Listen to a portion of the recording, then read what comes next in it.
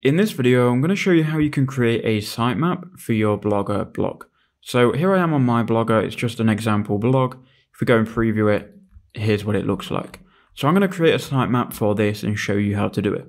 So you want to go to your Blogger dashboard, and then from here you need to go ahead and go to settings, and then scroll all the way down, and you'll see here crawlers and indexing.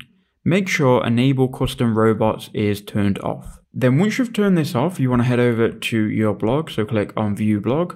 And then at the address bar here, you want to click on it, type forward slash robots.txt. So go ahead and type that in after your domain, then click enter. That will take you to this window and it will give you a sitemap which is generated by Blogger. So if you go ahead and then copy this sitemap and open a new window, you can then paste it in. And here you'll see your sitemap and this will be the sitemap here of your website. Now, if you want to go ahead and add this sitemap to Google's Search Console, then watch this video on screen now or I'll leave a link in the description below.